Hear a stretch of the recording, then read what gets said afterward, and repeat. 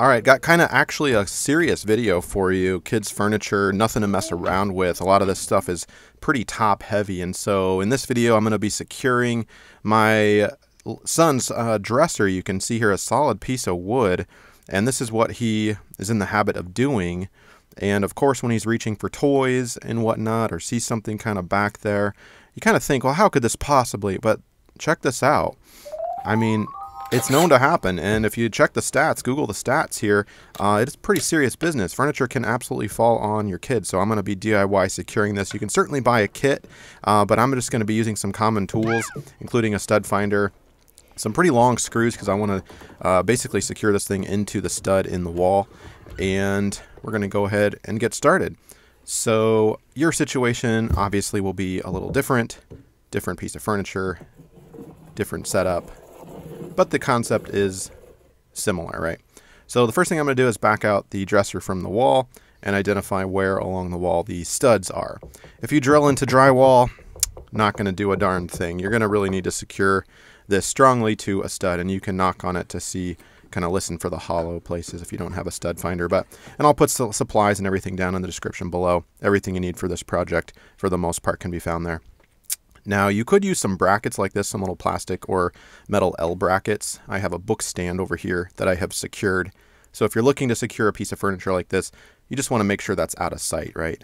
So you can see that's kind of tucked away, or at least it's matching in color. For this piece, I'm not going to be using an L bracket because there's not a great place to secure it. If I had a taller piece of furniture, I could use an L bracket like this and drill it right into the top. And it's kind of a, above the line of sight, so it would be hidden. But this is a shorter dresser, right? Uh, but you can see that concept is is the same and might be a good idea for you. So you drill it into the top, drill it into the wall first, obviously, and then push the piece of furniture uh, against it and drill in through the top. So that could be a, a, a good way to secure. If not, so what I'm going to have to do here is kind of push the dryer or the, the dresser back against the wall. And I had already marked my stud right there. And so mark that a little more clearly just so you get an idea of what I'm what I'm doing. So that's kind of the stud location, more or less. And you've got about, you know, an inch and a half of play. It's a two by four back there with the two inch side facing you, but it's actually an inch and a half in reality. They call it a two by four, but the measurements are actually a little less.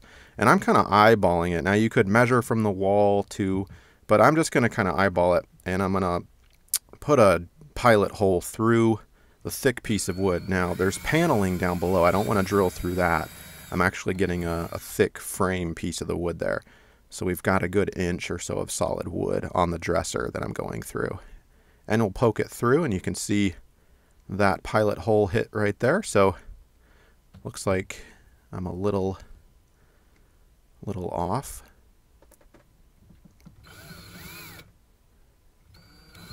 So we'll kind of adjust that. I'm just kind of eyeballing it, like I said.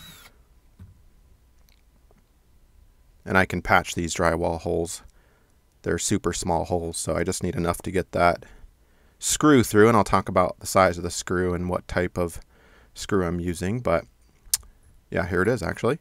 We've got a washer and a two and a half inch deck screw. I like these because they're super aggressive and they'll uh, give a lot of bite into the wood as opposed to like a long drywall screw or something like that. So wood deck screw definitely the way to go with a washer attached to it. And that washer just prevents the screw head from going through the wood. Gives it a flat surface to compress against. So we'll go ahead and drill that. Get that all the way in. And you're going to feel it grip and go. And that top of the dresser is going to suck all the way to the wall as you tighten that up. You don't need to over tighten it, but you're going to see, see we're pretty close. Let me get a better view for you so you can see it actually go into the drywall hole. Get that aligned correctly.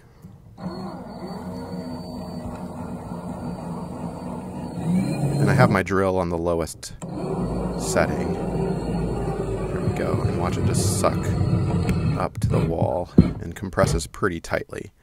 And that is pretty much it. You can test it out. Go ahead and try to jiggle the top, right? I'm even having my little helper here pull out the bottom drawer and he's going to stand on it. We're just going to test this. I want to sleep pretty well tonight knowing that this is not, when he's playing in his room, he's not going to uh, tip this thing over. So, with supervision, of course, and I certainly don't encourage him to do this. Maybe I'm giving him ideas, right? But nonetheless, we are sturdy. So that is the DIY way uh, that I secured this particular dresser. Of course, you're going to have to look at your context and make your own decisions what's best for you, but that is the idea, and hopefully this helps you out. We'll put the drawer, drawers back in and call it good. Thanks for being with me, and don't forget to subscribe and hit that like button if this video helped you. Thanks.